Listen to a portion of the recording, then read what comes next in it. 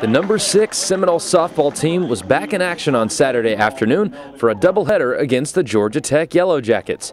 In game one, Lacey Waldrop was dominant once again, striking out nine batters and only giving up one run in her complete seven innings pitched.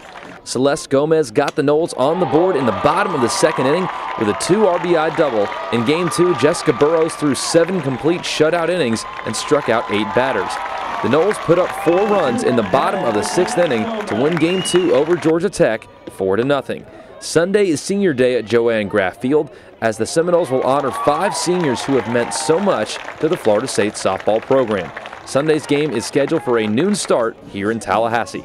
I'm Scott Kodak for Seminoles.com.